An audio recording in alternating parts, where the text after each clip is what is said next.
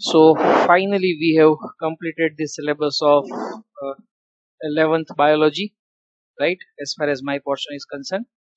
And now we are starting with the chapters of 12th standard. Okay. તો સૌથી પહેલું જ આપણે યુનિટ ચાલુ કરીએ છીએ રિપ્રોડક્શન ઇન ઓર્ગેનિઝમ જેની અંદર ત્રણ ચેપ્ટર છે અને એ ત્રણ ચેપ્ટરમાં એમાંથી almost seven to eight questions દરેક વખતે નીટની એક્ઝામમાં પૂછાય છે. And out of that seven to eight questions five five questions almost five to six questions are from this chapter તો મેજર યુનિટ થયું એક તો રાઈટ અને મેજર યુનિટની અંદર સૌથી ઇમ્પોર્ટન્ટ ચેપ્ટર જે છે that is what we are going to start okay તો રિપ્રોડક્શન ઇન હ્યુમન રાઈટ માનવીમાં પ્રજનન. ઓકે કમ્પેરેટિવલી ડિટેલ્સ જે છે એ પ્રમાણે વેઇટેજ ઘણું વધારે છે. હા ડેફિનેટલી ડિટેલ્સ અન્ડરસ્ટેન્ડ ઘણી બધી કરવાની આવશે. પણ એની સામે વેઇટેજ જોતા આ ચેપ્ટર જે કહી શકાય કે બિગ સ્કોરમાં તમને ઘણો મોટો હેલ્પ કરશે. એ ખાસ તમારે ધ્યાન રાખવાનું છે. ઓકે તો starting with the introduction you know that that uh, re, uh, the reproduction is important in the uh, maintaining the continuity of the generation. Okay પેઢીનું સાતત્ય જે છે એ જ્યારે પણ પ્રજનન થાય તો જ એ જળવાય છે. તો એ કેસની અંદર પ્રજનન ખૂબ જ જરૂરી છે. એવી જ રીતે સિંગલ સેલ જે છે એ પોતાનું જેનેટિક મટીરિયલ ડુપ્લિકેટ જે છે એ રિપ્રોડક્શન દ્વારા જ કરી શકે છે. રાઈટ તો એ કેસની અંદર રિપ્રોડક્શન વગર એક પેઢીમાંથી બીજી પેઢી બનવી શક્ય નથી. રાઈટ તો એ સંજોગોમાં રિપ્રોડક્શન ખૂબ જ અગત્યનું છે. આપણને સૌને ખ્યાલ છે uh, the ovum right that is female gamete right as well as sperm right male gamete તો માદા પ્રજનન કોષ અને નર પ્રજનન કોષ આ બંને જ્યારે પણ ફર્ટિલાઇઝ થાય right when sperm fertilizes ovum right then it leads to the new life તો અહીંયા ખાસ એ મેન્શન કરવું જરૂરી છે. Right ideally it is not ovum અહીંયા જે હોય એ તો જ્યારે પણ ફર્ટિલાઇઝ થાય, એ પહેલા તો એ secondary site right but then after fertilization definitely it will get converted to ovum જે આપણે આગળ જોશું, જેમ જેમ આપણને આગળ ચેપ્ટરની ડિટેલ્સ ખ્યાલ આવશે, એમ એમ આપણને સમજતા જશું રાઈટ પણ અહીંયા એ ખાસ યાદ રાખો કે here the genetic material is haploid right તો ક્રોમોઝોમનો સિંગલ સેટ છે. એટલા માટે આપણે શું કહેશું ને haploid refers to single okay so that's why haploid sperm also definitely the genetic material is is present in form of one set of chromosome 23 chromosomes that's why haploid and once the fertilization process is done then definitely you have the formation of zygote right Gujarati માં કહેશું આપણે યુગ્મનજ ફલિતાંડ okay so here you can just see that it is now diploid so male characteristic female characteristic બંને ક્રોમોઝોમનું intermingling થશે mixing થશે and then you have a new organism which is create okay so this is how the reproduction is important okay remember that humans are viviparous right? આપણને ખ્યાલ છે? Organisms are of three types oviparous viviparous and ovoviviparous okay? And belong to the category of viviparous મતલબ કે આપણે એક જીવને બાળકને જે છે એ જન્મ આપીએ છીએ જો ઈંડું અથવા તો જે છે કહી શકાય કે જે છે એ એગના ફોર્મમાં જે છે એ જો કદાચ બર્થ થાય તો એને oviparous right so in that case definitely humans are reproduce, reproducing sexually and they are viviparous okay? અહીંયા એ મેન્શન એટલા માટે કર્યું છે આપણે, આપણને સૌને ખ્યાલ જ છે. પણ દેન ડેફિનેટલી ઓર્ગેનિઝમ્સની અંદર રિપ્રોડક્શન બંને રીતે થઈ શકે છે. એ સેક્સ્યુઅલી પણ થઈ શકે છે અને સેક્સ્યુઅલી પણ થઈ શકે છે. વી આર હાયર ઓર્ગેનિઝમ પ્રાઇમેટ્સની અંદર આવી છે. તો આપણી અંદર રિપ્રોડક્શન જે છે એ સેક્સ્યુઅલ પ્રોસેસથી ઓકે તો definitely through this process the genetic material is pass from one generation to another generation right? તો આ તો આપણે જેનેટિક્સમાં પણ બહુ સરસ રીતે લર્ન કરશું. માણસ જે છે એનું બાળક માણસ જેવું જ દેખાય છે. હાથી જે છે એનું બચ્ચું હાથી જેવું જ દેખાય છે. રાઈટ આંબા ઉપર હંમેશા કીરી જ આવે છે. તો આ બધી વસ્તુ જે છે એ કેવી રીતે શક્ય બને છે? તો જેનેટિક મટીરિયલ પાસ થયું હોય તો જ શક્ય બને છે. અને આવું જેનેટિક મટીરિયલ પાસ થાય તો જ પેઢી દર પેઢી જે છે એ જે પણ કઈ સાતત્યતા જે છે એના કેરેક્ટરિસ્ટિક જે છે ફિનોટાઇપિક કેરેક્ટરિસ્ટિક હા, થોડા ઘણા વેરિએશન્સ આવશે. Right it is possible exact mimic કરતું હોય એવું એવું પોસિબલ નથી. કે વાળનો કલર બ્લેક હોય તો બ્લેક જ હોય, એવું જરૂર નથી. પછી એની પછીની પેઢીમાં બ્રાઉન કલર પણ આવે, થોડોક જે શેડ જે છે અલગ પણ આવે. આંખોનો કલર જે છે થોડો કદાચ અલગ પણ આવે. એ બધું આપણે જીનેટિક્સમાં લર્ન કરશું. રાઈટ તો variations are possible but overall structures phenotypic characteristic મતલબ આંખો તો કે બે જ હોવી જોઈએ. રાઈટ હાથ તો કે બે. સ્ટ્રક્ચર તો કે હા હ્યુમનનું સ્ટ્રક્ચર ઓવરઓલ કેવું દેખાતું હોય એના જેવું જોવું છે તો આવી બધી જ જે પણ કઈ કેરેક્ટરિસ્ટિક પાસો થાય છે તો એ જે છે ડેફિનેટલી આ reproduction through genetic material pass થયું તો જ ડેફિનેટલી જે છે એ શક્ય બની છે રાઈટ તો definitely reproduction maintains the life of the species okay? And uh, human uh, as we have discussed કે sexually reproduction છે પણ then human is unisexual animal right એક લિંગી પ્રાણી રાઈટ ફરી પાછું કારણ કે બાયસેક્સ્યુઅલ કેરેક્ટરિસ્ટિક બતાવતા ઓર્ગેનિઝમ્સ પણ ઘણા બધા આવશે. હર્મેફ્રોડાઇટ્સ આપણે જે છે એ લર્ન કરશું કે જે, જેની અંદર મેલ અને ફિમેલ બંને કેરેક્ટરિસ્ટિક રાઈટ નર અને માદા બંનેની કેરેક્ટરિસ્ટિક હોય એવા ઓર્ગેનિઝમ્સ પણ ઘણા બધા છે. પણ જે આપણે બાદમાં જે છે એ જોશું રાઈટ તો જે યુનિસેક્સ્યુઅલ આપણે કીધું, તો એના જ રિગાર્ડમાં જે છે એ આપણે સેક્સ્યુઅલ ડાયમોર્ફિઝમ જે છે આપણને આઈડેન્ટિફાય કરતા આવડવું જોઈએ રાઈટ તો એક્સટર્નલી અને ઇન્ટરનલી ઘણા બધા કેરેક્ટર્સ આપણે લર્ન કરવાનો ટ્રાય કરશું કે જે મેલ અને ફિમેલની અંદર અલગ અલગ હોય છે starting with the first one and very important one that is mammary gland right સ્તન ગ્રંથિ તો વી આર મેમેલિયન્સ રાઈટ સ્તનધારી વર્ગના પ્રાણીઓ છીએ આપણે।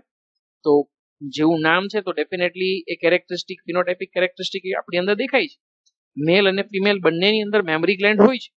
પણ મેલની અંદર મેમરી ગ્લેન્ડ જે છે, એનું કોઈ ફંક્શન હોતું નથી। It is for namesake only while in case of female under the influence of oestrogen and progesterone it is well developed. Okay તો જેવું પ્યુબર્ટી સ્ટાર્ટ થશે, તો એ પ્યુબર્ટીમાં ઇસ્ટ્રોજન અને પ્રોજેસ્ટ્રોન રાઈટ બંનેના ઇન્ફ્લુઅન્સથી જે છે, એ કેરેક્ટરિસ્ટિકલી છે એવું પોસિબલ છે કે એબનોર્મલી મેલની અંદર પણ ઘણી બધી વાર મેમરી ગ્લેન્ડ ડેવલપ થઈ શકે હોર્મોનલ ડિસ્ટર્બન્સને કારણે. આવું જો કદાચ થાય, તો એ જે છે, એ હોર્મોનલ ડિસ્ટર્બન્સને કારણે છે. અને એવા કેસની અંદર એને આપણે ગાયનેકો માસ્ટિયા તરીકે આઈડેન્ટિફાઈ કરીશું રાઈટ તો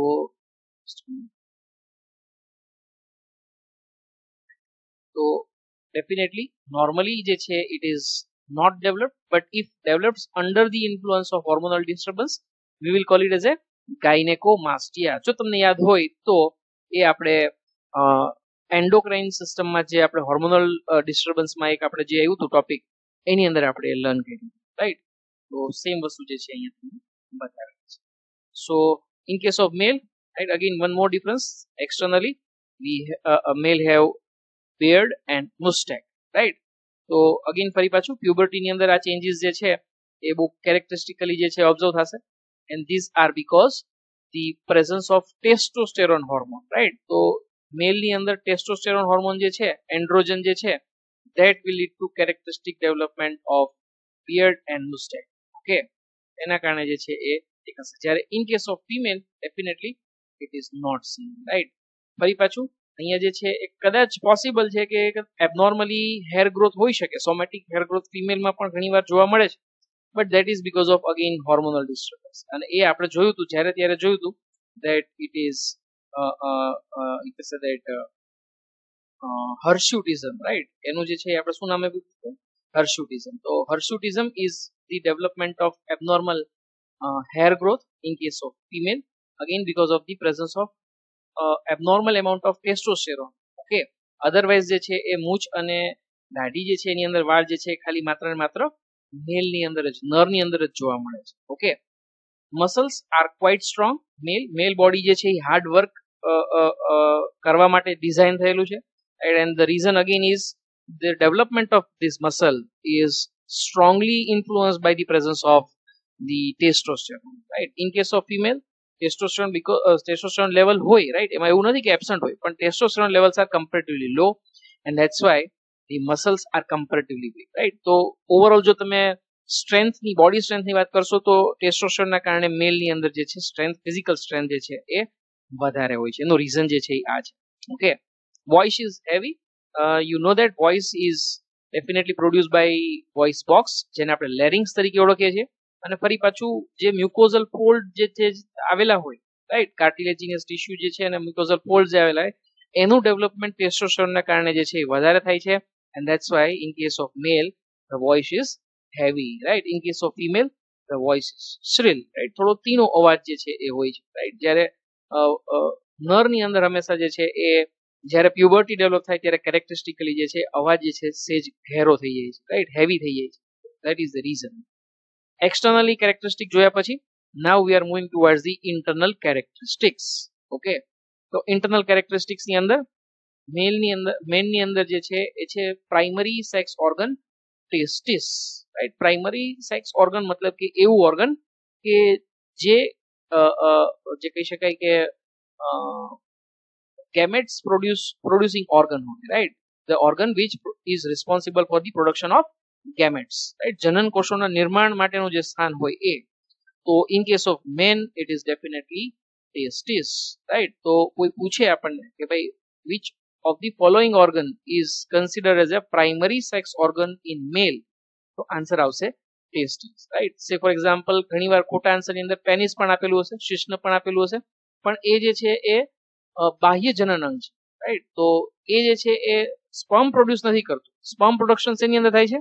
ટેસ્ટિસની અંદર. માટે આપણે એને શું કહેશું? પ્રાઇમરી સેક્સ ઓર્ગન અથવા તો gonad okay similarly in case of female ovaries are present as a gonad or primary sex organ right તો ઓવમનું પ્રોડક્શન જે છે એ ઓવરીઝની અંદર થશે. That's why it is primary sex organ testes are located outside the body, and that is in the scrotal bag. Okay. ખૂબ જ અગત્યનો topic છે, જે આપણે પાછળની સ્લાઇડમાં પણ જોશું. અને અહીંયા ડિફરન્સ એટલા માટે છે, કારણ કે ફિમેલની અંદર જે ગોનેટ્સ જે છે રાઈટ દેટ ઇઝ ઓવરીઝ જે છે, એ તો એબડોમિનલ કેવિટીમાં લોકેટેડ છે. જ્યારે મેલની અંદર જે છે, એ આઉટસાઇડ ધી બોડી સ્ક્રોટમ એટલે કે વૃષણ કોથળીની અંદર ગોઠવાયેલા હોય છે. આવી રચના એટલા માટે છે, કારણ કે સ્પર્મેટોજિનેસિસની પ્રોસેસ શુક્રકોષ નિર્માણની ક્રિયા that requires a lower temperature હવે બોડીની અંદર ટેમ્પરેચર જે છે thirty seven point four degree Celsius પણ આ ટેમ્પરેચર ઉપર સ્પર્મેટોજિનેસિસ એક્ઝિક્યુટ થઈ શકતું નથી. લોઅર ટેમ્પરેચરની રિક્વાયરમેન્ટ હોય છે. તો એ ટેમ્પરેચર લોઅર કરવાનું કામ જે છે એ આ સ્ક્રોટલ બેક કરી આપે છે રાઈટ વૃષણ કોથળી કરી આપે છે. અને એટલા માટે જે છે ટેસ્ટિસ જે છે, એ મેલની અંદર બોડીની બહારની એબડોમિનલ કેવિટીની બહારની સાઈડ ગોઠવાયેલા હોય છે. જ્યારે ઓવરીઝ જે છે, એ એબડોમિનલ કેવિટીની અંદર ગોઠવાયેલી હોય છે. રાઈટ તો અહીંયા જે છે પ્રાઇમરી જે પણ કે તમારું બનશે ગેમેટ એનું નામ છે સ્પમ સ્પર્મેટોઝુઆ અથવા તો સ્પમ એવું આપણે નામ આપશું. Right in case of female it is definitely ova right તો ઓવમ જે છે, એ ઓવરીઝમાંથી પ્રોડ્યુસ થશે. એક્ઝેક્ટલી તો મેં તમને કીધું એમ કે ઓવમ પ્રોડ્યુસ થતું નથી. જે થશે પ્રોડ્યુસ તો સેકન્ડરી ઉસાઇટ જ પ્રોડ્યુસ થશે રિલીઝ થશે એ. પણ જો કદાચ ફર્ટિલાઇઝેશન થાય then it could get converted to ovum. Right જે આપણે ઉજીનેસિસ વખતે લર્ન કરીશું. રાઈટ તો this is gamete difference of gamete between male and female finally the name of hormones male hormone definitely testosterone right male હોર્મોનને નામ આપશું આપણે androgen અને main જે પણ કે એન્ડ્રોજન જે છે, એ છે બોડીની અંદર આવેલું છે, એ છે ટેસ્ટોસ્ટેરોન તો જે ટેસ્ટિસમાંથી સ્ટેરોઇડલ હોર્મોન પ્રોડ્યુસ થાય છે રાઈટ તો નામ સમજી શકાય એવું છે testosterone finally in case of female જે મેજર સેક્સ હોર્મોન્સ જે છે, એ છે બે ઇસ્ટ્રોજન અને પ્રોજેસ્ટ્રોન બંનેના ફંક્શન્સ એની ડિટેલ્સ જે છે ખૂબ જ ઇમ્પોર્ટન્ટ છે. એક્ઝામ્સમાં વારંવાર પૂછાતા ક્વેશ્ચન્સમાંની એક છે. હાલ પૂરતા આપણે ખાલી એના નામ યાદ રાખીશું. ઓકે તો બહુ ક્લિયરલી આપણે જે છે લર્ન કર્યા છે. બધા જ ડિફરન્સીસ તમે એકવાર ફરી પાછા જે છે એ વીડિયો પોઝ કરી અને વન બાય વન જે છે એ ડિફરન્સીસ જે છે એ મેમરાઇઝ કરવાની ટ્રાય કરશો રાઈટ હું તમને પૂછતો જાઉં છું વન બાય વન ફરી પાછું right so mammary gland in case of male it is namesake here yes it is well developed well developed because of the presence of estrogen and progesterone here beard and mustache definitely develops here it is absent okay here muscles are strong muscles. Here are comparatively weak. Here in case of male the voice is heavy. Female voice is shrill. Okay internal characteristic gonads or primary sex organ in case of men is testis.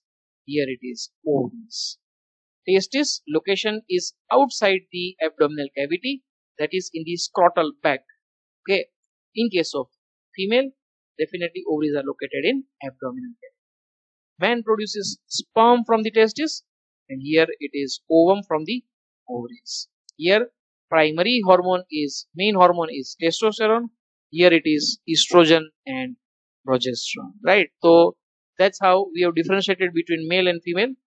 So we have learned the topic of sexual dimorphism right? Which is external and internal difference between these two. Okay. Same was to link bed ગુજરાતીની અંદર જે છે એ તમને અહીં આપેલું છે. ખૂબ જ સરળ છે. આપણે આનું રિવિઝન નહીં કરશું, પણ ખાલી જે છે એ એક પછી એક જે છે એ આપણે ખાલી જોતા જશું તો બાહ્ય લક્ષણોની અંદર, સ્તન ગ્રંથિ માત્ર ને માત્ર પુરુષોની અંદર, નામ પૂરતી. જ્યારે સ્ત્રીની અંદર, એ વિકસિત હોય છે. અહીંયા દાઢી અને મૂછ વિકસિત હોય છે પુરુષની અંદર. જ્યારે સ્ત્રીની અંદર જે છે એ જોવા મળતા નથી. પુરુષની અંદર, સ્નાયુઓ ખૂબ જ મજબૂત હોય છે. સ્ત્રીની અંદર કમ્પેરેટિવ રાઈટ પ્રમાણમાં જે છે એ નબળા હોય છે. પુરુષની અંદર અવાજ થોડોક ઘેરો હોય છે. રાઈટ જ્યારે સ્ત્રીની અંદર એ સહેજ તીણો જે છે એ હોય છે. રાઈટ તો આ બધા જ ડિફરન્સ જે છે હોર્મોનલ ડિફરન્સને કારણે જોવા મળતા તફાવત જે છે બાહ્ય લક્ષણો સ્વરૂપે આપણને દેખાય છે. આંતરિક લક્ષણોની અંદર આપણને ખ્યાલ છે કે મુખ્ય જનન અંગ જે છે એ છે તમારું શુક્રપિંડ પુરુષની અંદર અને સ્ત્રીની અંદર જે છે એ છે અંડપિંડ. અહીંયા જે છે એ શુક્રપિંડ વૃષણ કોથળીની અંદર આવેલા છે કે જે ઉદરીય ગુહાની બહાર આવેલા છે. જ્યારે અહીંયા જે છે એ ઉદરીય ગુહાની અંદર ગોઠવાયેલા હોય છે. અંડપિંડ જે છે ઓકે? અહીંયા જે છે મુખ્ય જે પણ કે જનન કોષ જે છે એ છે શુક્રકોષ સ્ત્રીની અંદર આવેલું જે છે એ છે અંડકોષ ઓકે? શુક્રપિંડમાંથી ટેસ્ટોસ્ટેરોન નામનો અંતસ્રાવ જે છે એ મુક્ત થાય છે. જ્યારે અંડપિંડમાંથી ઇસ્ટ્રોજન અને પ્રોજેસ્ટ્રોન નામના બે અંતસ્ત્રાવ જે છે એ મુક્ત થાય છે. રાઈટ? તો આવી રીતે આપણે લિંગ ભેદ જે છે એ સ્ત્રી અને પુરુષ વચ્ચે જે છે એ સમજવાનો પ્રયત્ન કર્યો છે. ખૂબ જ સહેલો ટોપિક છે, પણ આ બધા જ ટોપિકનું અન્ડરસ્ટેન્ડિંગ તમારું વધારે ત્યારે થશે જ્યારે આપણે બંનેની એનાટોમિકલ કેરેક્ટરિસ્ટિક જે છે લર્ન કરશું. ત્યારે. ઓકે પણ એ પહેલા થોડી ઘણી ડિટેલ્સ જે છે એ ફરી પાછી આપણે જોઈ લઈએ. પ્રાઇમરી સેક્સ ઓર્ગન આપણે કીધું એમ. તો પ્રાથમિક જે પણ કઈ જનન અંગ જે કહી શકો અથવા મુખ્ય જનન અંગ જે તમે કહેશો એ એવા ઓર્ગનને આપણે કહેશું કે જે ગેમેટ્સનું સિન્થેસિસ કરી શકે રાઈટ ગેમેટોજિનેસિસ જેની અંદર થશે રાઈટ જનન કોષનું નિર્માણ જે અંગની અંદર થશે, એને આપણે પ્રાઇમરી સેક્સ ઓર્ગન તરીકે આઈડેન્ટિફાઈ કરશું. તો in case of male it is testis in case of female it is ovaries male ગેમેટનું નામ સ્પર્મેટોઝુઆ એટલે કે શુક્રકોષ. ફિમેલ ગેમેટનું નામ ઓવમ એટલે કે અંડકોષ. ઓકે ખૂબ જ સરળ ડિટેલ અને ખૂબ જ આપણને યાદ રહી જાય એ પ્રકારની ડિટેલ્સ જે છે એ. આપણે સમજી, આપણે જોઈ છે right now we are learning about the secondary sex organ અને સેકન્ડરી સેક્સ ઓર્ગનમાં આપણે સૌ પ્રથમ મેલ સેકન્ડરી સેક્સ ઓર્ગનથી જે છે એ સ્ટાર્ટ કરીશું રાઈટ ત્યારબાદ આપણે ફિમેલ સેકન્ડરી સેક્સ ઓર્ગન્સ જે છે એ જોશું. તો in case of male right અથવા ફિમેલ કોઈ પણ કહી શકાય છે કે સ્પીસીસની અંદર, તો એ કેસમાં જે ઓર્ગન ગેમેટ્સ ના પેસેજ માટે જે છે એ હેલ્પ કરે છે right so this are forming the passage or the gametes to help the union of male and female gametes right શુક્રકોષ અને અંડકોષ બંને ભેગા થાય રાઈટ એટલે કે બંનેનું જે છે એ મિલન થઈ શકે, ફલિતાણ થઈ શકે ફર્ટિલાઇઝેશન બની શકે રાઈટ ઝાયગોટનું નિર્માણ થઈ શકે એના માટે જે કઈ ઓર્ગન આપણને હેલ્પ કરી શકે, એવા તમામ ઓર્ગન્સને આપણે શું કહેશું? સેકન્ડરી સેક્સ ઓર્ગન રાઈટ તો here you have learn testis તો it is involve in spermatogenesis અહીંયા એસ ભૂલાઈ ગયો છે રાઈટ તમે જરા કરેક્શન કરી લેજો. તો ટેસ્ટિસ અહીંયા સ્પર્મેટોજિનેસિસ થાય છે. That's why it is primary sex organ પણ એ પછીના જે ઓર્ગન્સ અહીંયા દેખાડેલા છે બધા વન બાય વન આપણે જોતા જશું those are helping in passage of the gametes right so that sperm can move from here and outside definitely this once a process of coitus is going on right then it will be inseminated right that means it will be released in the vagina and then finally there if ovum is available there is a possibility of the union of male and female gamete તો એ કેસમાં આ બધા જ organ જે અહીંયા દેખાય છે મેલ reproductive સિસ્ટમને લગતા એ બધા ઓર્ગનને આપણે શું કહીશું સેકન્ડરી સેક્સ ઓર્ગન ઓકે તો મેલની અંદર વન બાય વન આપણે જોઈએ છે સૌથી પહેલું જે છે છે એપીડાયડાયમિસ એપીડાયડાયમિસ નો ગુજરાતીમાં મતલબ થશે અધિવૃષણ નલિકા. રાઈટ તો નામ કેવી રીતે પડ્યું એનું એપી મતલબ કે એબોવ અથવા તો over. You can just see that the location of epididymis here, it is epi. Right? That means over. Above the is that's why epi. Okay? And didymis that means testis right? તો વૃષણ right? તો વૃષણની ઉપર right? જે નલિકા પસાર થાય છે, that's why અધિવૃષણ નલિકા, epididymis. Fine epididymis જે છે, એ ખૂબ જ જરૂરી છે. શું કામે જરૂરી છે, એ આપણે જોશું આગળ રાઈટ પ્રાઇમરીલી જે છે, એ સ્પર્મ સેલ્સના મેચ્યુરેશન માટે હેલ્પ કરે છે રાઈટ કારણ કે મિયોસિસમાં જો તમને કદાચ યાદ હોય તો આપણે જ્યારે સેલ ડિવિઝન લર્ન કર્યું હતું કે મિયોસિસ એટલે કે અર્ધસૂત્રી ભાજન રાઈટ એવું સેલ ડિવિઝન કે જે ગેમેટોજિનેસિસની પ્રોસેસમાં થાય એ. તો એ કેસની અંદર ખાલી માત્ર ને માત્ર ડિવિઝન નથી થતું સેલ ડિવિઝન નથી થતું. મિયોસિસ વન અને મિયોસિસ ટુ તો થશે જ, બે પ્રોસેસો થશે જ. પણ આવી પ્રોસેસ થયા પછી પણ ત્યાં એક ડિફરન્શિએશનની પ્રોસેસ થશે સેલ ડિફરન્શિએશનની પ્રોસેસ ઓકે મતલબ કે શુક્રકોષ જે જે રાઉન્ડ સેલનો જે શેપ હશે, એમાંથી એ જે કહી શકાય કેરેક્ટરિસ્ટિકલી ફ્લેજેલા દર્શાવતો આપણને જે શેપ જોવા મળે છે રાઈટ પૂછડીવાળું જે આપણને જે સ્ટ્રક્ચર જોવા મળે છે ટેઇલ લાઈક સ્ટ્રક્ચર એ ટાઈપના સ્ટ્રક્ચરની અંદર એ ડિફરન્શિએટ થાય છે. શુક્ર, કાયાંતરણ રાઈટ સ્પર્મેટો જીનેસિસ થયા પછી રાઈટ તો એ જે છે એ તમારા અલગ શેપની અંદર આવશે. તો એ શેપની અંદર, એટલે કે તરવાની ક્ષમતા પ્રાપ્ત કરે રાઈટ સ્વિમિંગની કેપેબિલિટી એ ડેવલપ કરે એના માટે એને ઘણો ટાઈમ જોઈએ છે. અને એ ટાઈમ જે છે એ અહીંયા એપિડાયડેમિસ જે છે એ આપશે. Without epididymis maturation of sperm is not possible okay so very important એપિડેમિડિસમાંથી એકવાર પાસ થશે now it will move towards the vas deferens right? so vas deferens will lead this uh, sperm cells towards the urethra. Urethra માં જશે પેલા થોડી ઘણી glands એમાં merge થશે. પણ definitely because it is allowing the passage of sperm તો sperm ને આપણે શું કહીશું? શુક્ર કોષો માટેની જે પણ કઈ વહન કરવા માટેની નલી રાઈટ તો એટલા માટે આપણે શું કહીશું એને? શુક્ર વાહિની રાઈટ વાસા ડેફરન્સ એવું પણ ઘણીવાર બોલવામાં આવે છે. અથવા તો વાસ ડેફરન્સ એવું પણ તમે કહેશો તો ચાલશે. Third structure seminal vesicle total ત્રણ મેલ સેક્સ એસેસરી ગ્લેન્ડ આવેલી હોય.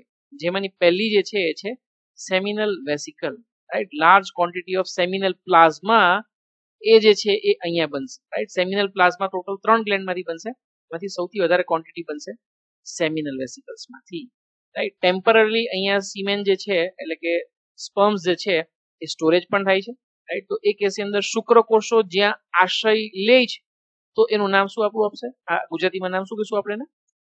શુક્રાશય right seminal vesicles okay next gland right is single gland અહીંયા જે છે પેરમાં તમે જોઈ શકો છો જોડમાં તો સેમિનલ વેસિકલ્સ અહીંયા જે છે સિંગલ છે large structure just beneath urinary bladder urinary bladder તમને એક્સક્રિટરી સિસ્ટમ યાદ હશે જ્યાં યુરિન સ્ટોર થઈ શકે એ મૂત્રાશય રાઈટ તો બિલકુલ એની નીચે તો that is prostate gland again very important accessory gland okay તો પ્રોસ્ટેટ ગ્લેન્ડ ત્યારબાદ આવશે બલ્બો યુરેથ્રલ ગ્લેન્ડ બલ્બો મતલબ કે સહેજ ઉપસેલો પાર્ટ હોય એ. તો પ્રોસ્ટેટની નીચે બિલકુલ જે છે, તમને જે છે એ દેખાય છે. રાઈટ સહેજ એવો ઉપસેલો ભાગ. તો that is bulbourethral gland right કારણ કે યુરેથ્રામાંથી સહેજ એવો ઉપસેલો ભાગ તમને દેખાય છે.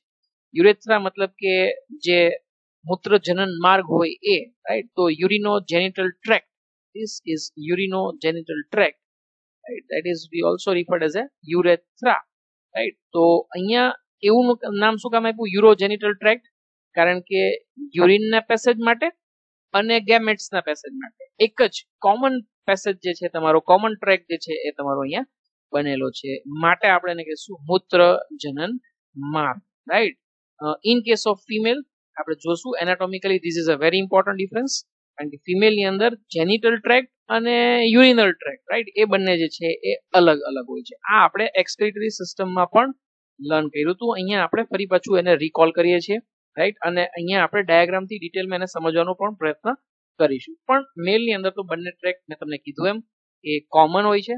અને માટે આપણે યુરેથ્રાને યુરિનો જેનિટલ ટ્રેક અથવા તો યુરો જેનિટલ ટ્રેક એવું નામ જે છે એ આપણે રાઈટ અને બાહ્ય જનન અંગ તરીકે રાઈટ મેલની અંદર સ્ટ્રક્ચર આવેલું હોય છે પેનિસ ઓકે ગુજરાતીમાં આપણે કહીશું શિશ્ન રાઈટ તો જે આપણને બહારની સાઈડ સ્ટ્રક્ચર દેખાય છે રાઈટ તો મેજર એનું ફંક્શન જે છે એ કોઇટસ વખતે આવે છે કારણ કે ઇનસેમિનેશન વખતે deep in the vagina it has to release the semen okay so these are overall structures which are helping right uh, uh, or which are forming the passage for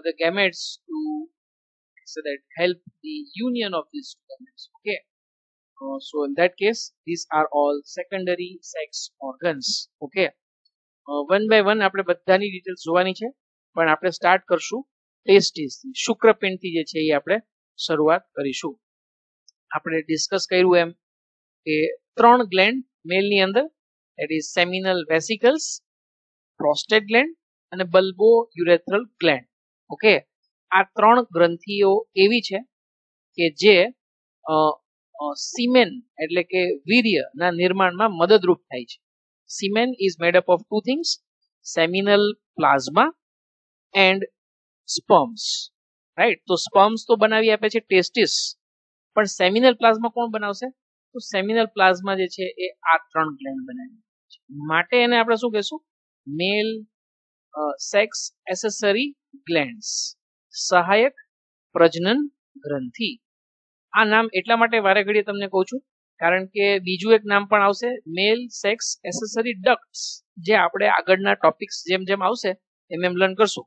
પણ ડક્ટ્સ એટલે કે નલિકા એ અલગ છે અને ગ્લેન્ડ્સ એટલે કે ગ્રંથિ એવું અલગ છે. તો એક્ઝામમાં બિલકુલ ઉતાવળ કર્યા વગર વાંચવાનું, જોવાનું કે આપણને શું પૂછ્યું છે? ગ્લેન્ડ્સ પૂછી હોય તો એની અંદર ત્રણ નામ જે છે એ તમારા શક્ય બનશે. ત્રણની અંદરથી આ જે છે એ જોડીમાં છે. બલ્બોયુરેથ્રલ ગ્લેન્ડ પણ જોડીમાં છે. પ્રોસ્ટેટ ગ્લેન્ડ જે છે એ સિંગલ હોય છે. ઓકે? આવી રીતે આપણે યાદ રાખશું. તો આપણને બિલકુલ ભૂલાશે નહીં.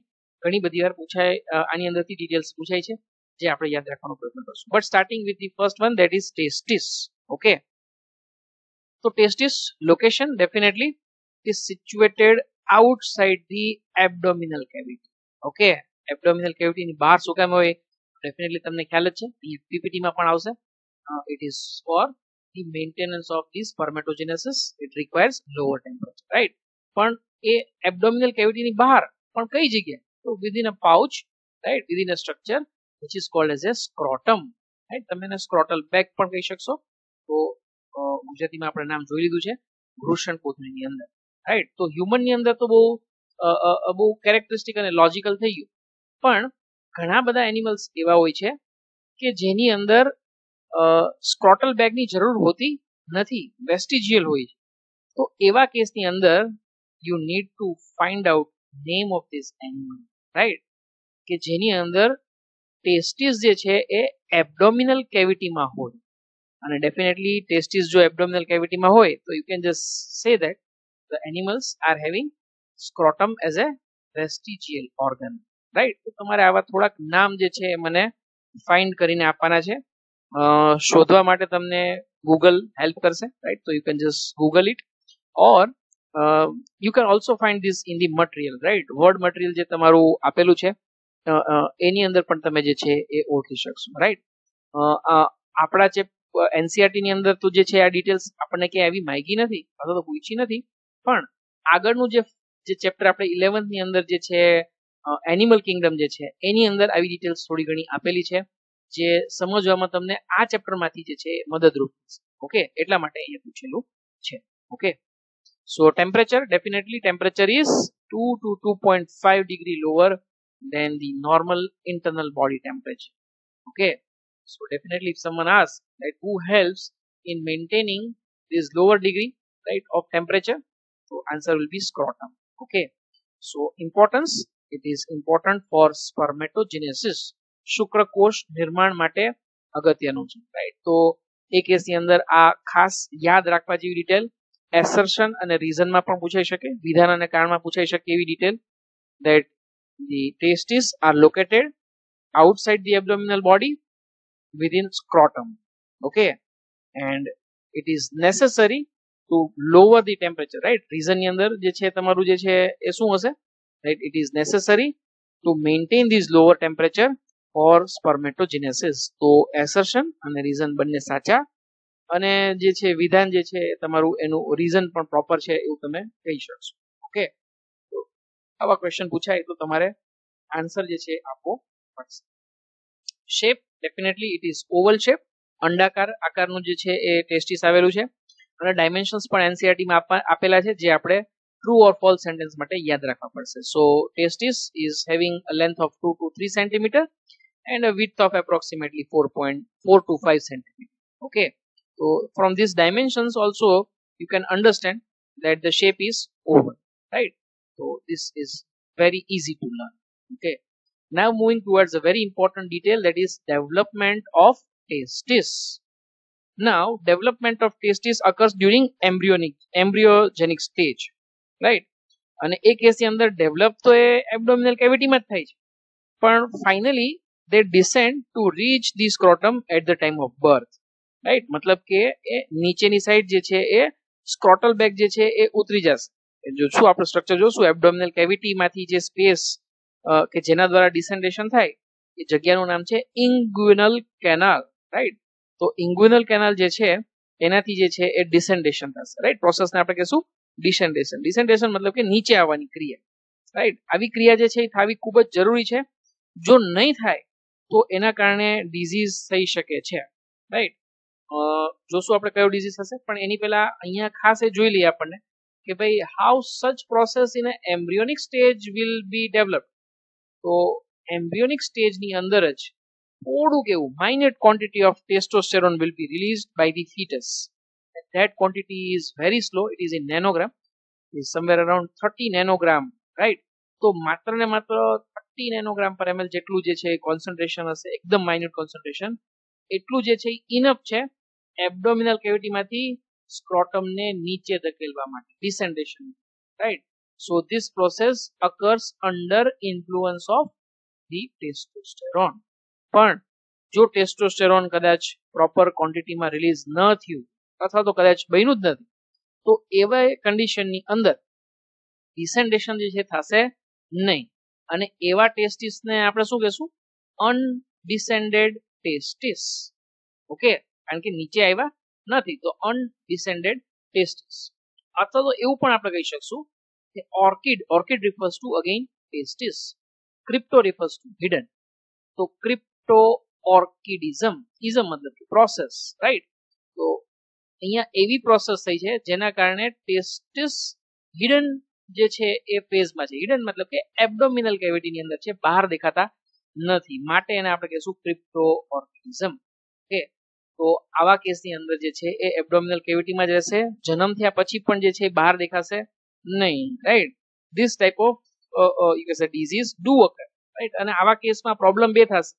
કારણ કે જો બહાર ન નહીં આવે રાઈટ એબડોમિનલ કેવિટીમાંથી તો સ્પર્મેટોજિનેસિસ જે છે એક્ઝિક્યુટ થઈ શકે નહીં. તો આવું બાળક જે છે મોટું થઈને જે છે, એ ફર્ટાઇલ થઈ શકે નહીં રાઈટ બીજી વસ્તુ સ્પર્મેટોજિનેસિસ તો નહીં જ થાય પ્રોપરલી એક્ઝિક્યુટ પણ એની સાથે સાથે એમાં મેલિગ્નન્સી ડેવલપ થવાના ચાન્સીસ પણ છે રાઈટ તો મેલિગ્નન્સી મેલિગ્નન્સી મતલબ કે એની અંદર કેન્સરસ જે છે, એ ટીસ્યુ જે છે, એ ફોર્મ થઈ શકે છે રાઈટ તો અહીંયા જે છે એ આવા ડિઝીઝ જે છે એ જો આઈડેન્ટિફાઈ થાય, તો એને સર્જિકલી જે છે આપણે ફિક્સ કરવા રાઈટ તો ફિક્સ કરવા માટે ડેફિનેટલી જે છે એક સર્જરી જે છે સર્જરી એ જન્મ પછી જ બાળક જે છે એ અમુક સમય પછી જ જે છે કરવામાં આવે છે and that is called as orchiopexy right તો ઓર્કિયો ડેફિનેટલી અહીંયા આપણે જોયું તો એમ કે ઓર્કિડનો મતલબ જોયો તો ટેસ્ટિસ તો orchio refers to testis and pexy મતલબ કે surgical fixation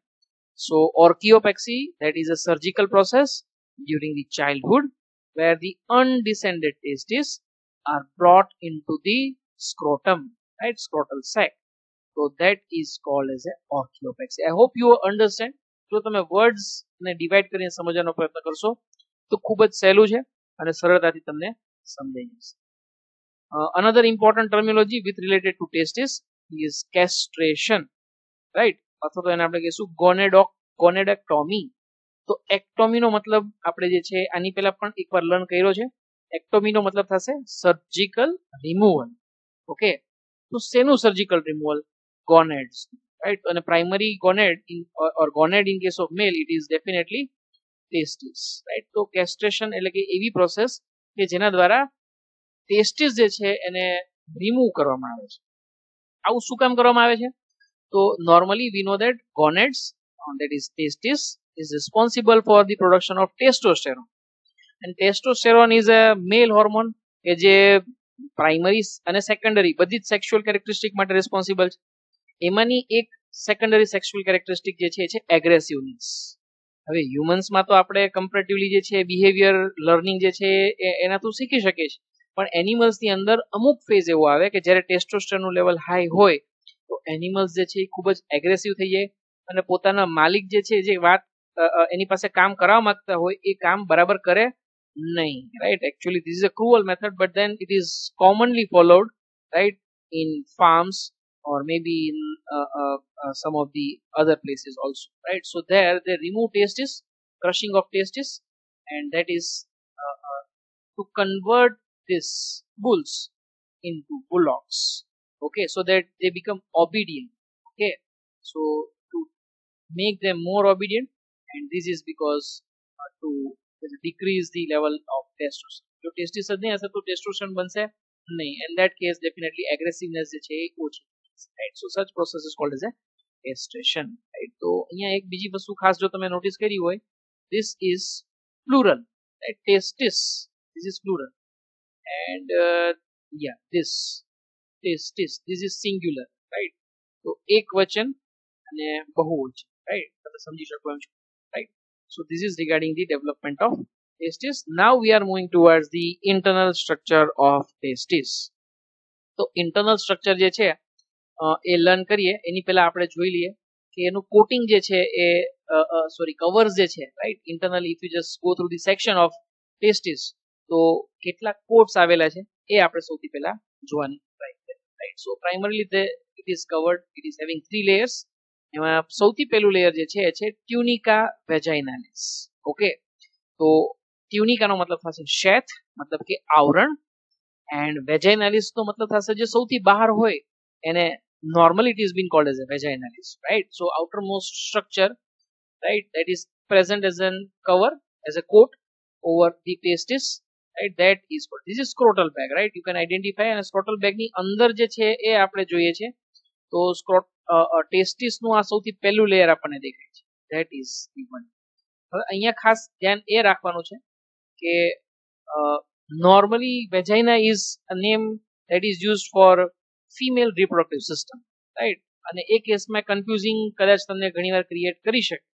પણ તમારે યાદ રાખવાનું છે that tunica vaginalis is a structure of testis right, male reproductive system. And it is not a structure of female reproductive system. તો ઘણીવાર આવું કન્ફ્યુઝન માટે તમને પૂછાઈ શકે અને એ કેસમાં યાદ રાખવાનું રહેશે. Second layer is tunica albuginea and this is very important albumin right તો આલ્બાનો મતલબ જે છે તમને ખ્યાલ છે રાઈટ જેવું આપણે આલ્બ્યુમિનમાં લર્ન કર્યું હતું. તો આલ્બાનો મતલબ થશે વ્હાઇટ તો વ્હાઇટ કલર ઉપરથી એનું નામ આપ્યું છે tunica albuginea and as you can see also it is made up of dense white fibrous coat collagenous tissue જે છે કોલેજનની બનેલી ટીશ્યુ એનાથી જે છે, એ તમારું આ સ્ટ્રક્ચર બનેલું છે. તો tunica albuginea and it extends inward to form a septa. You can see that this is a albugenia it extends and then it forms a septa. Right? These septas are very important. કારણ કે આવા સેપ્ટા જે છે, લગભગ two fifty જેટલા સેપ્ટાસ જે છે, એ અંદર આવેલા હોય ટેસ્ટિસની અંદર. અહીંયા તો આપણે થોડાક જ બતાવ્યા છે. but then this are forming the lobules right because once they are forming septa they will divide the internal structure of the testis and this division will lead to formation of several lobule right તો ઘણા બધા ખંડની રચના right એ અહીંયા તમને જોઈ શકાય છે right આવા બધા જ લોબ્યુલ્સ ની અંદર આવેલી હશે seminiferous tubules okay moving toward the last one third one so tunica vasculosa which is the innermost structure right so this is tunica vasculosa and that is innermost just that covering uh, uh, of the testes fine so with this we have covered the structures now we are moving towards the internal structure details તો આપણે કીધું એમ કે tunica albuginea is the very important white fibrous coat that is present internally in the testis okay and this will divide the testis in uh, different lobules right because it creates septa and these septums right this septa will divide testis into different lobules so how many lobules are there in the each testis approximately 250 okay and each of this uh, or because that uh, lobule you have two to three uh, uh, because that seminiferous tubules in a lobule right તો single લોબ્યુલ ની અંદર કેટલી સેમિનિફરસ ટ્યુબ્યુલ્સ આવેલી હશે બેથી ત્રણ જેટલી. Okay તો કોઈ આપણને પૂછે કદાચ કે ભાઈ ટોટલ સેમિનિફેરસ ટ્યુબ્યુલ્સ કેટલી આવેલી? તો ડેફિનેટલી આન્સર ઇઝ એપ્રોક્સિમેટલી કારણ કે એકની અંદર ત્રણ તમે જો કદાચ ગણશો, તો two fifty multiplied by three so that is seven fifty seminiferous tubules seminiferous ટ્યુબ્યુલ્સનું નામ ખાસ જે છે સમજવા જેવું છે. So semen refers to seed seed મતલબ કે અહીંયા આપણે સમજશું sperm and fer that means to carry તો એવી ટ્યુબ રાઈટ એવી ટ્યુબ્યુલ્સ કે જે સિમેન્ટને કેરી કરે છે. રાઈટ સિમેન્ટ તો નહીં, પણ એક્ઝેક્ટલી સ્પમ્સ રાઈટ સિમેન્ટ તો પછી ફોર્મ થશે, જ્યારે મર્જ થશે બધી ગ્લેન્ડ સાથે ત્યારે.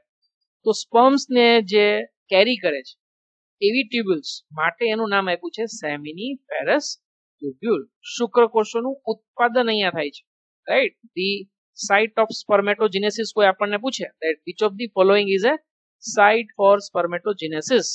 Then our answer will be tubule right? શુક્રોત્પાદક નલિકા, જ્યાં શુક્રકોષોનું ઉત્પાદન થાય એવી નલિકાઓ right so this is seminiferous tubule seminiferous tubules જે છે એ આપણે ડિટેલમાં જોવાની છે અને એનસીઆરટી માં પણ એની ડિટેલ્સ બધી જ આપેલી છે, જે આપણે સૌથી પહેલા સમજવાનો પ્રયત્ન કરીશું રાઈટ તો સેમિનિફેરસ ટ્યુબ્યુલ શુક્રોત્પાદક નલિકા, ફંક્શન આપણે જોયું એમ it is the site for spermatogenesis, okay?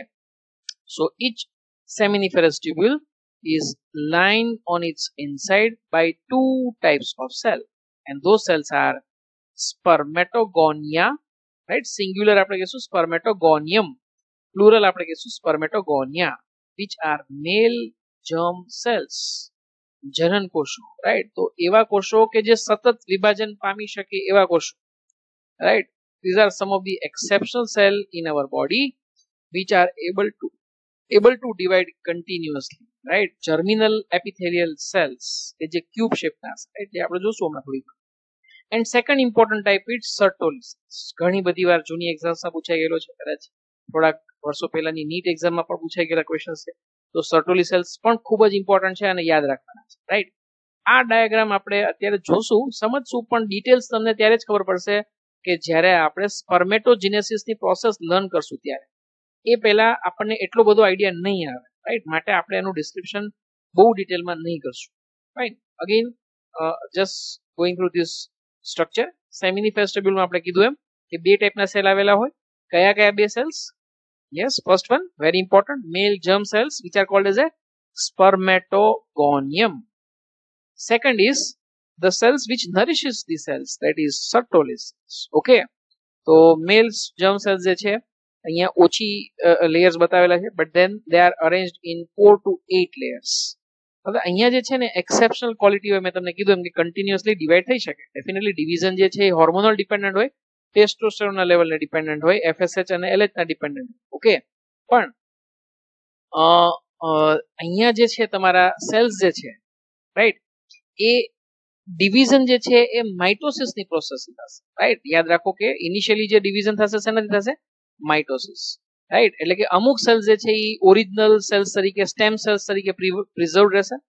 અને બાકીના સેલ્સ જે છે, જે માઇટોસિસથી ડિવાઈડ થયા છે, એ ફર્ધર જે છે, એ મિયોસિસની પ્રોસેસથી અલગ અલગ સેલ્સની અંદર કન્વર્ટ થશે. તો મિયોસિસ વન અને મિયોસિસ ટુ એ બંને પ્રોસેસથી બનશે અલગ અલગ સેલ પ્રથમ વિભાજનથી બનશે ને પ્રાઇમરી સ્પર્મેટોસાઇટ પછી બનશે એને આપણે કહીશું સેકન્ડરી સ્પર્મેટોસાઇટ અને સેકન્ડરી સ્પર્મેટોસાઇટ જે છે ફાઇનલી જે છે, એ સ્પર્મેટિડની અંદર કન્વર્ટ થશે. સ્પર્મેટિડ જે છે, એ એક ડિફરન્શિએશનની પ્રોસેસ દ્વારા રાઈટ અહીંયા જે છે, અહીંયા સુધી જે છે ડિવિઝનની પ્રોસેસ અહીંયા જે છે, પછી શું પ્રોસેસ હશે? ડિફરન્શિએશન ગુજરાતીમાં આપણે શું કહીશું આને?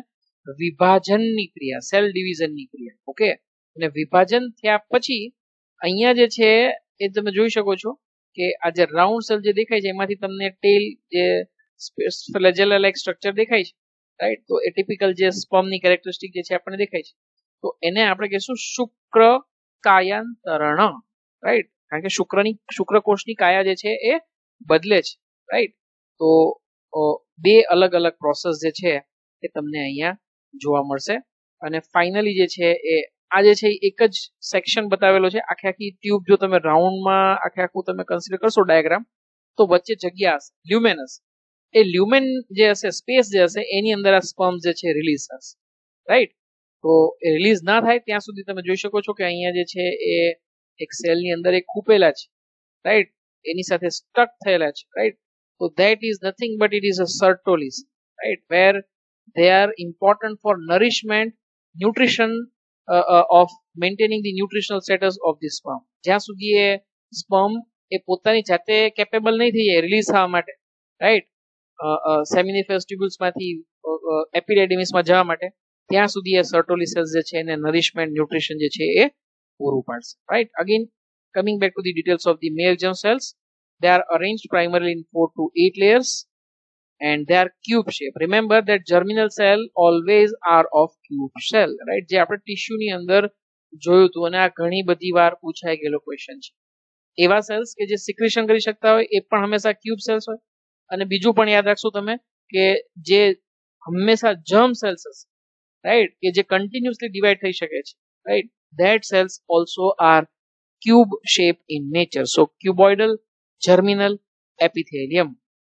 And this undergo initially they undergo mitotic division and finally they will undergo meiotic division right આમાંથી જ અમુક સેલ્સ જે છે મોટા થઈ પ્રાઇમરી સ્પર્મેટોસાઇટ બનશે they will undergo the meiotic division to form secondary spermatocyte finally spermatid and they will get converted to spermatozoa okay પણ મેં તમને કીધું કે આ પ્રોસેસ તમને પ્રોપર ત્યારે જ સમજાશે જ્યારે આપણે સ્પર્મેટોજિનેસિસ લર્ન કરશું ત્યારે okay so here for the formation of germ cells, it is eventually meiosis અર્ધસૂત્રીકરણ રાઈટ તો એ જે છે એ પ્રોસેસ થશે. અને તો જ સ્પર્મેટોઝુઆ સ્પર્મેટોઝુઆ અને સ્પર્મ બંને સિનોનિમ છે રાઈટ તો કદાચ તમને વર્ડ જોવા મળે તો કન્ફ્યુઝન થવાનું કન્ફ્યુઝન એમાં કરવાનું નથી રાઈટ સ્પર્મેટોઝુઆ અથવા તો સ્પર્મ બંને એકબીજાના સિનોનિમ છે right finally moving toward the Sertoli cells તો સર્ટોલી સેલ્સ જે છે એ સ્પેશિયલાઇઝ સેલ્સ તમને દેખાઈ આવે છે, વચ્ચે જે છે તમને દેખાઈ આવે છે. અહીંયા તો ડાયાગ્રામ કલરમાં આપેલો છે, પણ એક્ઝામમાં જો તમને ડાયાગ્રામ બેઝ ક્વેશ્ચન પૂછાય તો કલર તમને નહીં આપેલા હોય, તો ડિફરન્શિએટ કરવા થોડાક ડિફિકલ્ટ થશે એ કેસની અંદર ખાસ યાદ રાખો કે એક તો આ સેલનો શેપ થોડોક તમને અલગ દેખાય છે એ રીતે તમે આઈડેન્ટિફાઈ કરી શકશો ન્યુક્લિયસ પણ કમ્પેરેટિવલી લાર્જ દેખાય છે. એ રીતે પણ આઈડેન્ટિફાઈ કરી શકશો.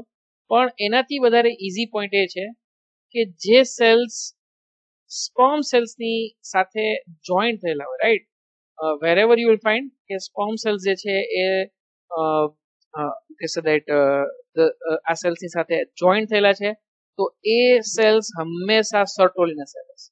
તો આની જેવું આ સેલ દેખાય છે તમને, તો કદાચ તમને ડાયાગ્રામમાં લેબલિંગ કરવાનું કે, તો સર્ટોલી સેલ એવું તમને ખ્યાલ આવી જવો જોઈએ. Okay function as I discussed is a very important that they provide nutrition to these cells right so secondary spermatocyte માંથી spermatid બને છે even secondary spermatocyte also they take nutrition from these Sertoli cells okay એ સિવાય એનું importance as an endocrine gland પણ છે right so they produces a hormone which is called as a inhibin IN નો મતલબ થશે protein. અને એવું protein કે જે ઇનિબિટ કરે. શું? તો કે સ્પર્મેટોજિનેસિસની પ્રોસેસ એક્સેસિવ સ્પર્મેટોજિનેસિસ થાય. તો એને સ્ટોપ કરવા માટેનું જે હોર્મોન જે રિલીઝ થાય, એ સર્ટોલી સેલ્સ જે છે રિલીઝ કરી આપે છે. Right that's why inhibin is very important in nature આ સિવાય બ્લડ વેસલ્સની સાથે આવા સર્ટોલી સેલ્સ જે છે, એ એક લેયર બનાવશે. જેને આપણે કહીશું બ્લડ ટેસ્ટિસ બેરિયર તો બ્લડ ટેસ્ટિસ બેરિયર જે છે, એ જો તમને યાદ હોય તો આપણે બ્રેઇનની અંદર પણ આવું એક લેયર યાદ રાખ્યું હતું બી બી બી રાઈટ એટલે કે બ્લડ બ્રેઇન બેરિયર અને આ બ્લડ બ્રેઇન બેરિયરની જેવું જ કામ જે છે બ્લડ ટેસ્ટિસ બેરિયરનું છે એના જેટલું ઇન્ટેગ્રિટી હાઈ નથી બ્લડ બ્રેન બેરિયરની ઇન્ટેગ્રિટી તો બહુ હાઈ હોય રાઈટ એમાંથી એક પણ વસ્તુ એમને પાસ થઈ શકે નહીં, કારણ કે જે સેલ જંક્શન્સ હોય ટાઈટ જંક્શન્સ એ એકદમ પ્રોમિનન્ટલી એની અંદર પ્રેઝન્ટ જ્યારે અહીંયા જે છે બ્લડ ટેસ્ટિસ બેરિયરમાં એટલું સ્ટ્રિક્ટ નથી હોતું but then also it restricts the toxins right which are present in the blood from entry into testis right કારણ કે ટેસ્ટિસની અંદર જો આવા કેમિકલ્સ વોટર સોલ્યુબલ કેમિકલ્સ જો અંદર આવી જાય, તો તો એ સ્પર્મેટોજિનેસિસની પ્રોસેસને ડેમેજ કરી શકે.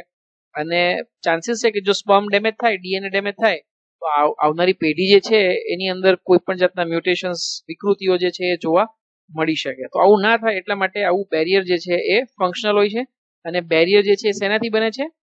બ્લડ વેસલ્સથી અને testis right so it acts as a Sertoli cells acts as a sustentacular cells right sustentacular cells મતલબ that is the basis for blood testis barrier okay આ સિવાય પણ અહીંયા એક કામ ખાસ કરશે, કારણ કે અહીંયા મિલિયન્સ ઓફ સ્પર્મ્સ આપણે જોશું સ્પર્મેટોજેનેસિસમાં કે millions of sperms are synthesize હવે આ મિલિયન્સ ઓફ સ્પર્મ સિન્થેસિસ થતા હોય તો પોસિબલ છે કે અમુક સેલ કદાચ અહીંયા ડેડ થઈ જાય, અથવા તો ડેમેજ થઈ જાય. તો આવા ડેમેજ સ્પર્મ જે છે એ આગળ જઈ શકતા નથી. ડેડ સ્પર્મ જે છે એ પણ આગળ જઈ શકતા નથી. તો એને રિમૂવ તો કરવા પડે. તો એ રિમૂવ કરવા માટેની પ્રોસેસ જે છે એ કોણ હેલ્પ કરશે? It is these cells sertoli cells, right? So, they are effective phagocytes also. Phagocytes મતલબ કે એવા સેલ્સ કે જે ફેગોસાઇટોસિસનું ફંક્શન પરફોર્મ કરી શકે. ઓકે તો એ કેસની અંદર ફેગોસાઇટોસિસ પણ કરી શકે છે. મલ્ટિપલ ફંક્શન થશે. પણ જે વસ્તુ માટે પૂછાય છે એક્ઝામમાં એ વસ્તુ આપણે ખાસ યાદ રાખીશું. કઈ માટે પૂછાય છે Sertoli cells they provide nutrition to the cells. Which cells? These sperm cells. Okay? તો જ્યાં સુધી લ્યુમેનમાં રિલીઝ નહીં થાય, ત્યાં સુધી એ સર્ટોલિના સેલની સાથે જોડાયેલા જ રહેશે. જે ખૂબ જ અગત્યનો પોઈન્ટ છે. આ સિવાય પણ રાઈટ આ વસ્તુ ગુજરાતીની અંદર આપેલી છે સેમ વસ્તુ ડાયાગ્રામમાં તો આપણે પહેલા એ જોઈ લઈએ, પછી આગળ વધીએ. સો અહીંયા જોઈ શકો છો તમે, આ એક પ્રોટેક્ટિવ લેયર અને પછી આવી ગયું તમારું સીધું જ જનન અધિચ્છદીય કોષો. ઇમોર્ટલ સેલ્સ કન્ટિન્યુઅસલી ડિવાઈડ થઈ શકે એવા ટાઈપના સ્ટેમ સેલ્સ ઓકે પછી એમાંથી જ બનશે પ્રાથમિક પૂર્વ શુક્રકોષ, કારણ કે શુક્રકોષના નિર્માણની પહેલા બન્યા છે એટલા માટે. પછી આવ્યા દ્વિતીય પૂર્વ શુક્રકોષ. તો ધીમે ધીમે અહીંયાથી આમ તમે જોઈ શકો છો કે ધીમે ધીમે લ્યુમેન બાજુ જાય છે, એમ એમ સેલ ડિવિઝન આગળ વધતું જાય છે. અને પછી એમાંથી કાયાંતરની ક્રિયા થતી જાય છે. તો પ્રશુક્રકોષ અને પછી બને છે શુક્રકોષ. આવા શુક્રકોષ જે છે એ સર્ટોલીના કોષ સાથે જોડાયેલા રહે છે. જ્યાં સુધી એ પોતાની ફંક્શનલ કેપેબિલિટી અથવા તો મેચ્યુરેશન જે છે એ ડેવલપ ના કરી લે. ત્યાં રાઈટ આમ તો મેચ્યુરેશન કમ્પ્લીટલી ડેવલપ થશે એપિડાયડેમિસમાં વૃષણ સોરી અધિવૃષણ નલિકાની અંદર. રાઈટ પણ એમ છતાં પણ જ્યાં સુધી એ રિલીઝ નહીં થશે, ત્યાં સુધી સર્ટોલિયન સેલ્સ જે છે એને પોષણ આપવાનું કામ કરશે. ચલો, તો આ સિવાયના પણ એક સેલ્સ છે કે જે સેમિનીફેરસ ટ્યુબ્યુલ્સની બહારની બાજુ ગોઠવાયેલા છે. Right so location of such cells is outside the seminiferous tubules મતલબ કે ઇન્ટરસ્ટિશિયલ સ્પેસીસ રાઈટ તો ઇન્ટરસ્ટિશિયલ મતલબ કે within the tissue space right inter મતલબ કે વચ્ચે સ્ટિશિયલ મતલબ કે ટિશ્યુ તો બે સેમિનિફેરસ ટ્યુબ્યુલ્સની વચ્ચે ગોઠવાયેલા છે. માટે આવા સેલ્સને આપણે શું કહેશું? ઇન્ટરસ્ટિશિયલ સેલ્સ રાઈટ આની ઉપર તમે બહુ ઇઝીલી આઈડેન્ટિફાઈ કરી શકશો. એવા સેલ્સ કે જે ઇન્ટરસ્ટિશિયલ સ્પેસ સ્પેસીસની અંદર ગોઠવાયેલા હોય એને આપણે કહીશું ઇન્ટરસ્ટિશિયલ સેલ્સ આંતરાલીય કોષો. અથવા તો જે નામે પૂછાય છે એક્ઝામમાં એ છે લેઇડિગ સેલ્સ એટલે કે લેડીગના કોષો. આવું નામ આપણે એના સાયન્ટિસ્ટને જે છે ક્રેડિટ આપવા માટે નામ રાખેલું છે. રાઈટ તો આનું ઇમ્પોર્ટન્સ શું છે? તો as you can see that this is a diagram this is a seminiferous tubule. Right? This is one seminiferous this is one more આ બધી જ સેમિનિફેરસ ટ્યુબ્યુલ્સ અને હવે તમને ડાયાગ્રામ ઉપરથી તમને ખ્યાલ આવશે કે આપણે જે કહેતા હતા, જે અહીંયા હતું એ છે મેલ જે કઈ, જે કહી શકાય કે સ્પર્મેટોગોનિયમ રાઈટ ઇન્ડિવિજ્યુઅલી આપણે સ્પર્મેટોગોનિયમ ઘણા બધા છે તો સ્પર્મેટોગોનિયા તો આ પહેલી લાઇનિંગ એની થઈ ગઈ, જનન, અધિચ્છદીય કોષોની. પછી માઇટોસિસ દ્વારા જે છે એ, એની અંદર સેલ ડિવિઝન થશે અને માઇટોસિસ થયા પછી એકવાર મેચ્યોર થશે, એટલે બનશે પ્રાઇમરી સ્પર્મેટોસાઇટ્સ તો પ્રાઇમરી સ્પર્મેટોસાઇટ અહીંયા બતાવેલા છે. એમાંથી ડિવિઝન થશે. સેકન્ડરી સ્પર્મેટોસાઇટ અને ફરી પાછું જે છે સ્પર્મેટિડ અને આ જે છે ટેલ વાળા સ્ટ્રક્ચર જે દેખાય છે, એ છે આપણા સ્પર્મેટોઝુઆ રાઈટ સ્પર્મ સેલ્સ અને જે લ્યુમેનમાંથી રિલીઝ થાય છે, બધી જ આ જે છે ક્રોસ સેક્શન છે. અહીંયાથી અહીંયા આગળ જશે ટ્યુબમાંથી. બધી જ સેમિનિફરસ ટ્યુબ્યુલ જે છે આગળ જઈને ભેગી થઈને મર્જ થઈ જશે રાઈટ અને બનાવશે પછી ફાઇનલી બનાવશે એપિડાઇડેમિસ ઓકે તો આવું સ્ટ્રક્ચર તમારું જે છે દેખાય. પણ આ બે સેમિનિફેરસ ટ્યુબ્યુલ્સની વચ્ચે right here also there is a seminiferous tubule here also તો બેની વચ્ચે જે ટિશ્યુ સ્પેસ આવેલી છે, ત્યાં પણ અમુક સેલ્સ આવેલા છે. અને એવા સેલ્સને આપણે શું કીધું? ઇન્ટરસ્ટિશિયલ સેલ્સ અથવા તો લેડિંગ સેલ્સ ઓકે તો આ તમારે ખાસ યાદ રાખવાનું છે.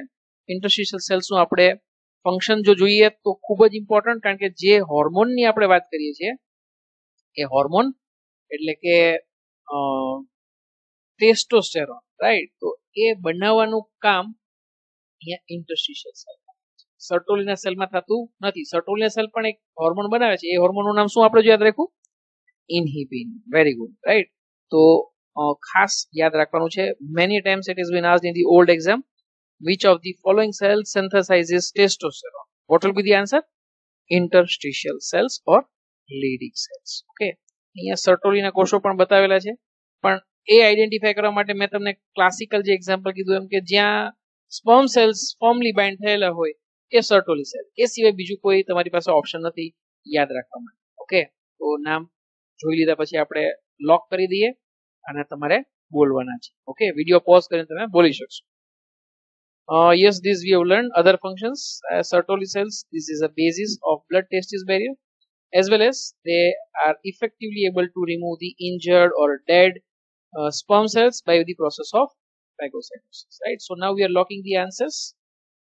Yeah, this is one more diagram of seminiferous tubule. Now you can very easily understood right that how spermatogonium are arranged. This is spermatogonium right these are some of the primary and secondary spermatocyte these are spermatids and finally spermatozoa અને સ્પર્મેટોઝોઆ જે છે એ સર્ટોલિના cells અહીંયા તમને કેરેક્ટરિસ્ટિકલી સ્પર્મેટ જે છે સર્ટોલિના cells એ બહુ specially જે છે, હવે તમે રેકોગ્નાઇઝ કરી શકશો કે કઈ રીતે ગોઠવેલા રાઈટ તો એક્ઝેક્ટલી આ રીતે. અને now you can also understand the blood test is barrier right કેવી રીતે રેડિયલી જે છે, આખે આખું ગોઠવાયું છે. અહીંયા જે છે, ઘણા બધા બ્લડ વેસલ્સ પણ દેખાય છે. ધીઝ આર બ્લડ વેસલ્સ અને અહીંયા જે સેલ્સ મોટા દેખાય છે, એ આંતરાલીય કોષો છે, એટલે કે ઇન્ટરસ્ટિશિયલ સેલ્સ રાઈટ તો ડબલ્યુબીસીસ બ્લડ વેસલ્સ રાઈટ આ બધી વસ્તુ તમે જોઈ શકો છો. WBC also are immunocompetent cells which can help uh, if any infection is been there okay so function